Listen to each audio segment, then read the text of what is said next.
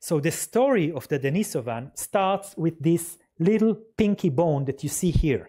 So this little pinky bone was found in the Denisova cave in Siberia, and it belonged to a girl who died there 70,000 years ago. So it was clearly not Homo sapiens, and it was assumed to be a Neanderthal, and it was sent to Svante Pääbo for sequencing.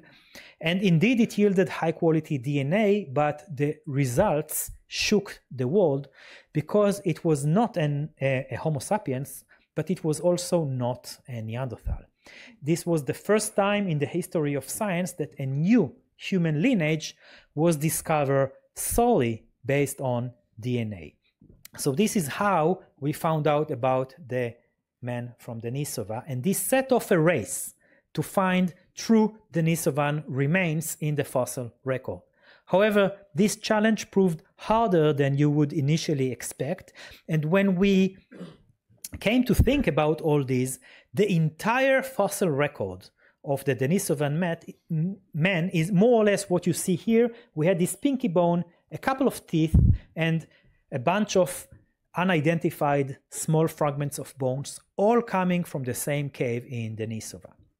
So what we did is that we used our methods in order to identify genes whose activity pattern is different in Denisovans. And then we used medical genetics to understand the effect of these changes in gene activity on different body parts. And we were able to offer the first anatomical profile of the Denisovan. And what we did is we uh, teamed up with Maayan Harel, a scientific illustrator, and um, she did this artist impression based on very accurate anatomical uh, details.